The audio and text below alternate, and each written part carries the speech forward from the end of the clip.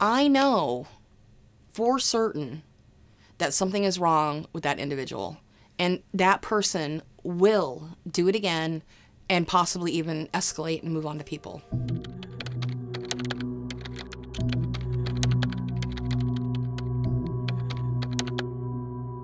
So, my name is Deanna Thompson, and you may know me as Baudi Moovan from Netflix's Don't F with Cats. For people like me, you want to figure things out. You you can't just let things go. You become almost obsessed, um, where it becomes like a living and breathing thing that you need to get answers for.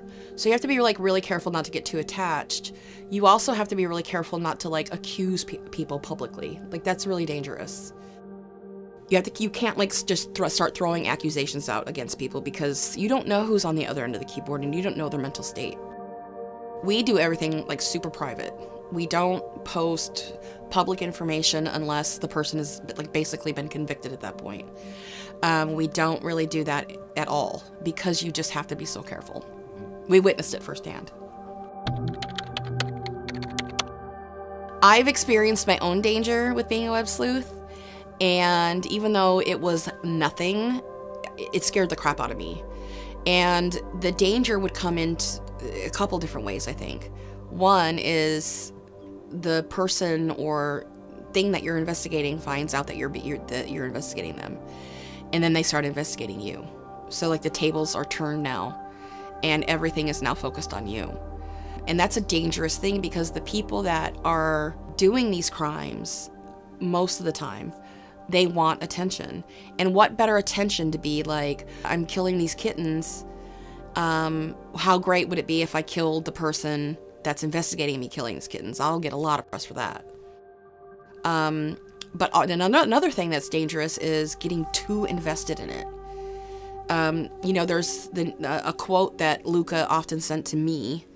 Um, Luka is the person um, that we were looking at that was in the documentary Don't F with Cats. And I don't remember the exact quote, and, and I'm sure you guys can edit this and look it up and put it on the screen or something. But it's the abyss quote by Nietzsche. It's the, you know, if you stare too long at the abyss, the abyss stares back at you. So he was like recognizing that I was getting too invested in finding him and would often tag me on like a 4chan or 7chan post and be like, Baudi Moovan. The longer you stare at the abyss, the stare, you know, the abyss stares back at you. And every time that happened, I would be like, fuck, he's right. I need to step away for like a couple days. Um, so you get that that's another danger that any web sleuth can get into is that they're just so invested in finding this person that they lose all re- all sense of reality around them. And that's a dangerous thing to do, and your mental health is too important to do that. I've had to go to therapy um, because of this this work. Um, and there's a lot of guilt that comes with this work because you want to be able to prevent the next one, but then the next one happens because you didn't find out the information in time. And there's also a lot of like, God, humanity is so gross. You know, like we are so gross. Why are we doing this? So I had to go to therapy. Um, and it's out of my own pocket. I have to pay for this. So it's not like I have a professional network to rely on you know, like like uh, people in law enforcement would. The first thing I would tell the people that are interested in web sleuthing is you can't be emotional. So if you're an emotional person, this is not going to be um, a good a good area for you to go down. Um, you when you're an emotional person, I'm an emotional person, so I know this. When you're an emotional person, um, you're your anger and your rage over the things that you're investigating sometimes cloud your judgment. So I've learned to kind of and just look at the facts. You know what I mean? Um, and the more you look at the facts, the more you get enraged and the more you have to calm down.